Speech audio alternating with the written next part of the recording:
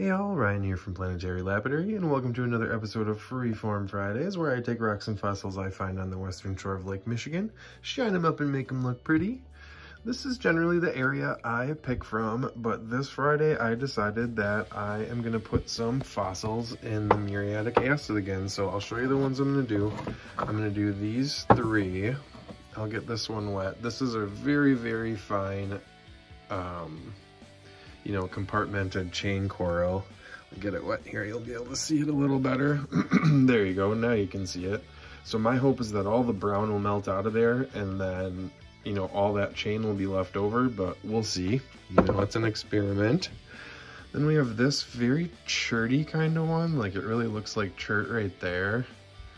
But then I have a lot of softer material in here, so I'm hoping a lot of that will melt out and maybe some of this, you know, kind of gritty stuff in the top here. Here, I'll get this one wet too. You know, so this one's got very defined tubes on there. I think it's a syringopora, um, but I want to see if I can get all that brown to melt out of there, you know, and get those tubes a little more pronounced. And then the third one's the same thing. This one I don't have as high of hopes for. It's much chertier than the other ones. So, like, where was it? You know, it just looks cherty to me, the brown instead. So I don't know if this brown is going to melt out of here or if it'll just stay just like it is. You know, hopefully some of it comes out and some of these tubes pop out, but we'll see. Like I said, it's kind of an experiment. I haven't really done ones in this material. You know, it's usually more like this limestoney material because I know that this brown will melt out of this one. So, all right, so let's get out in the garage and I'll show you what we're gonna do. Okay, so what we got, I got two buckets. And this is what we're using, we're using muriatic acid. Um, if you are gonna let it sit in here for a couple days without watching it, you can dilute it. I don't dilute it because I don't want it to take three, four days. You know, I'm just gonna hit this stuff hard for like 24 hours and watch it close. So I just do a pure solution of it. Um, and then another trick that I use is I found this little basket at like, I don't know, a Goodwill store or something with these holes in it and then I just took a handle from a regular bucket and stuck it through the holes. So now instead of having to drop stuff down into the acid, like and to take it out with tongs and stuff, I can just lower this thing right down into the acid, no splashing, no nothing. Um, yeah, so let's do that and hopefully we'll see some fizzing. I just lower it in slow just so it can fill up. Drop it right down. No splashing. Let's see, is there any fizzling going on? Oh yeah, we got bubbles. We got bubbles, so that'll be working. So like I said, I'm gonna watch it for about, you know, 24 hours and just see kind of what's going on in there, check it, maybe take it out. And then what you do to neutralize the acid is I'll have another bucket with water here and then you just put a bunch of baking soda in it basically and then the amount of baking soda should be you know enough to neutralize the acid so I'll take the basket out of this one and then I'll put it in that solution for a little while you know a few hours and then I'll wash this bucket out and get rid of the acid and then put clean water in and another baking soda bath in this one, you know, just in case there's any holes and stuff inside of them when I pull them out. So I don't want to touch them and then have any of that acid kind of come out on my fingers. So I do like a double clean with the baking soda after. So let's let this sit and we'll come out and watch them and we'll see what we'll see what happens. I don't know. I see a lot of bubbling, so hopefully we'll uh, have some cool stuff.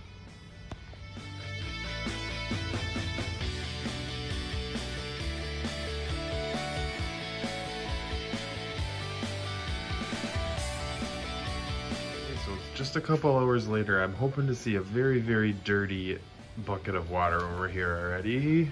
Ha, yeah, I do. So I'm just gonna lift it up just a hair. See what we got going on here. Ooh, yeah, we're looking good, we're looking good. We're gonna leave it in though. All right, so it's working perfect. You know, that's kind of what you wanna see. You wanna see that dirty water because then you know that it's all getting eaten out of there. So, all right, let's check them in a little while.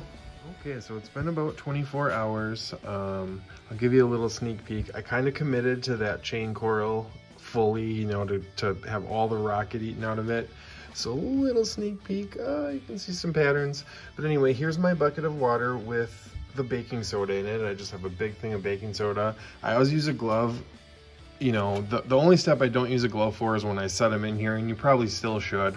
Um, but I'm pretty good at not splashing, but taking it out of here, it gets little bubbles, you know, from all the bubbles, that, like the gas that gets released when the, the rock gets eaten away. So I always use a glove for this one. So I'll just take it out of here. Sneak peek, whoop. All right, we're not gonna show you any more than that. So then I just let it drain out, you know, as much of the, as much of the liquid as possible from inside of here because the brown inside of there that, you know, from the mud and stuff that gets eaten out kind of turns the water really brown, so I don't want the fossils to get stained brown. And then what I'm gonna do is just put it right in here. And I usually fill it up enough where it gets all the way to the top. There you can see the acid getting neutralized by the baking, by the uh, baking soda. So I'll leave that sitting there, you know, for a few hours at least um, and then come back and maybe add a little bit more. And here, if you just want to see, here's some baking soda. You know, so you can see that it's going to neutralize that acid. So basically what I do is, this is how I do it. I just sprinkle a little bit in and let it bubble down. And then I just keep doing that until there's no more bubbles.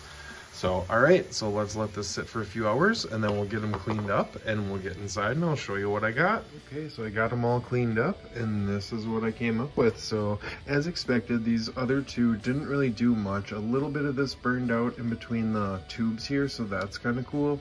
So I'll probably just spray this one with poly and leave it just like that. That's kind of a really cool, you know, really cool little slab of Syringopora. So not much happened to that one.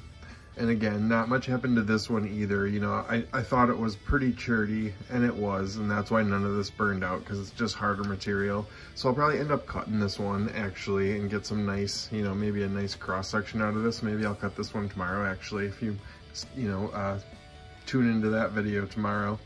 So then, so those two were kind of duds, but not, not bad. But then this is what we got for that chain coral had one side pop off on me and it must have just been, you know, a little bit less holding it together there, but very, very intricate patterns all the way through, all the way around this side. And I'll try to pick this thing up. So what I'll probably do too is spray a little coat, a little misting of poly on this thing when it's totally dry, just to harden it up a little bit. But I'll try to flip it without breaking it you can kind of see that all the stone was in the middle and this thing was growing on it and all of it burned out. So that's awesome. So I'm gonna spray this thing. Ooh, it's tough to hold this stuff very lightly. But yeah, it turned out really good. So I'll spray it and I'll, you know, put it on a piece of wood just like that kind of. But all in all, turned out really good. You know, that one makes up for the two kind of duds. So, all right, if you like this video, leave a like, hit subscribe if you haven't already. Stay tuned for some awesome close-ups at the end, and we'll see you in the next one. Bye-bye.